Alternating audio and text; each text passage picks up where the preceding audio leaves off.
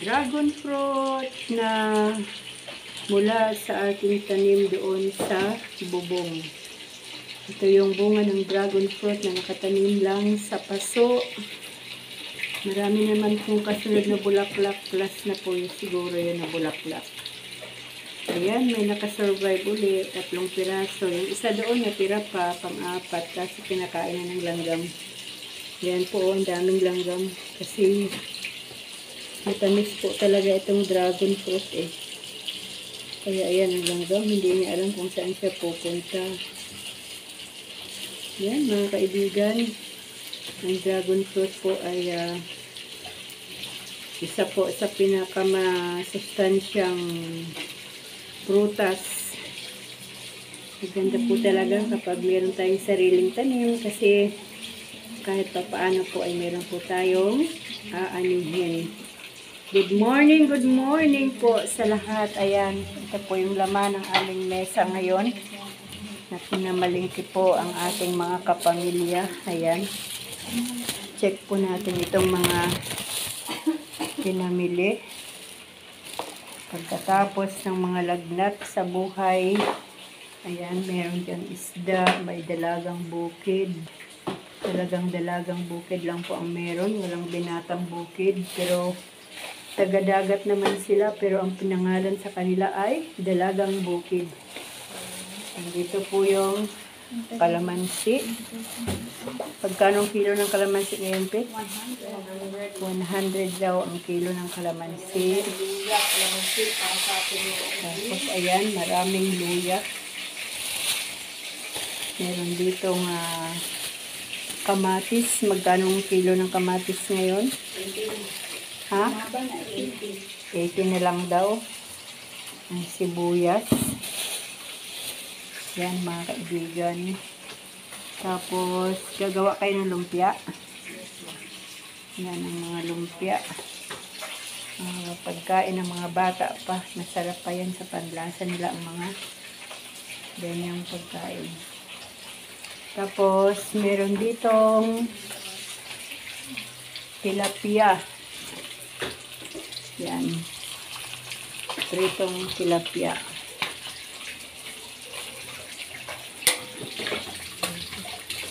Nandito ang mga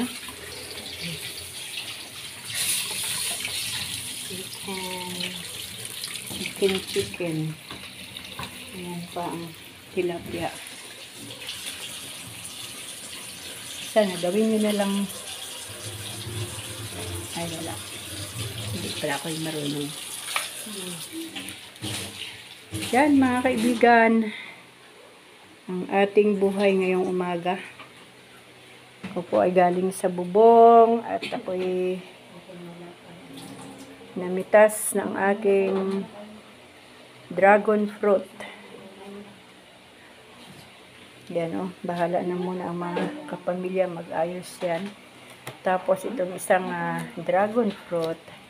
Yan, kasi ang size po ng ating na ano na harvest ay isang large, isang medium, at saka isang small.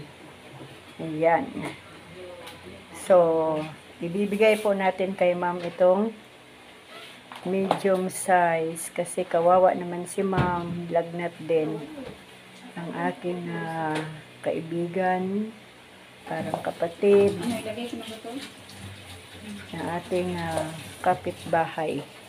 Kaya ayan, dadalhin po natin kay ma'am itong dragon fruit na isa para matikman naman po niya yung ah, bunga ng aking tanim sa bubong.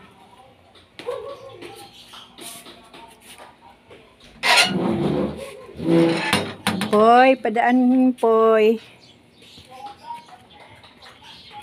Yan, punta tayo sa bahay ni ma'am. Ma'am! Ma'am! Abutin niyo po ito, oh. Huwag niyo nang buksan.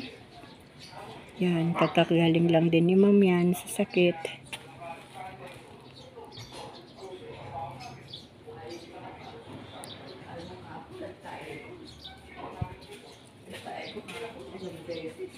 Ay, may kausap kayo? Oh, pumitas ako ng aking dragon fruit. May natira pang tatlong piraso sa taas. Oh, ayan. oh, nakabidyo pa kayo yan, mama.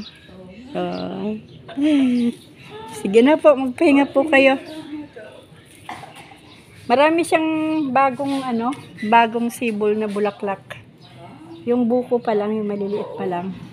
Andito banda sa bubong eh. Ito, alam mo, maanay kasi ang lupa.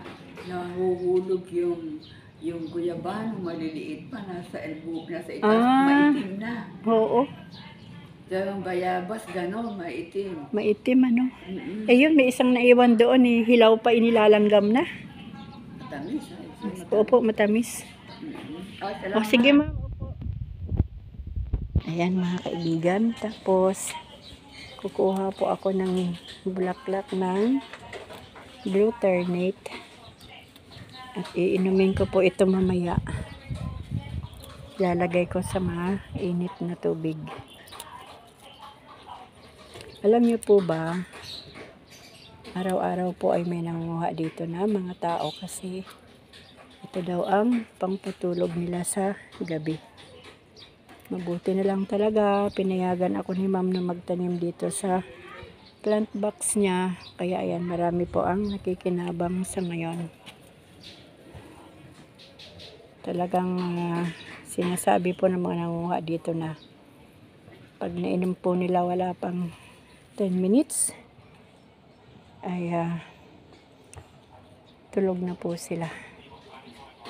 Paano nga ba nila malaman no, na 10 minutes kung tulog na sila? Yan mga kaibigan, hanggang dito na lang po uli ang ating vlog. Maraming salamat po sa inyong lahat. Ingat po kayo palagi pagpalain po tayong lahat ng ating Panginoon. Amen. Bye!